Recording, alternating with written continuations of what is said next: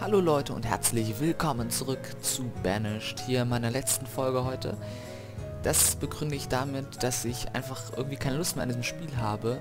Und zweitens hat man ja vor allem in der letzten Folge gesehen, dass wir tief im Problemmangel äh, hocken und ich da eigentlich keinen Bock so richtig habe, da rauszukommen, weil ich mir denke, das werde ich eh nicht schaffen. Dafür kommt aber in nächster Zeit ein neues äh, Let's Play Together raus.